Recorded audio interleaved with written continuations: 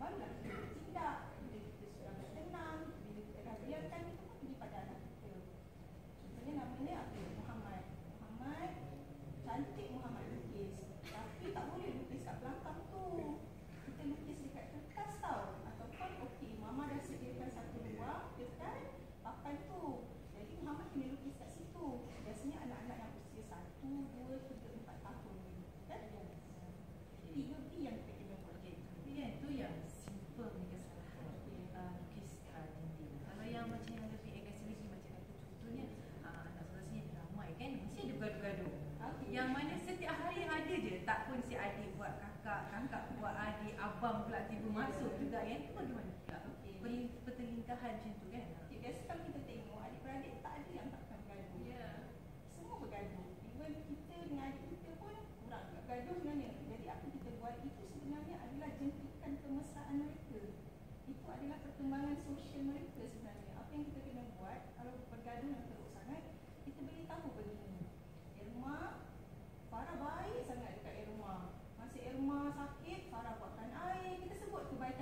kan yang si abang atau si kakak selagi kan.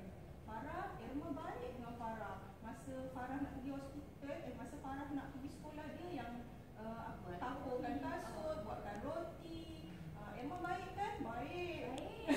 jadi Farah, jadi itu adalah salah satu cara dia lah. Ah. Selain daripada mereka bergaduh tu, kadang-kadang kalau bergaduh dekat tempat sosial, kita biarkan dulu dalam kereta tu, kita akan balik kemah-kemah yang tersembunyi lah.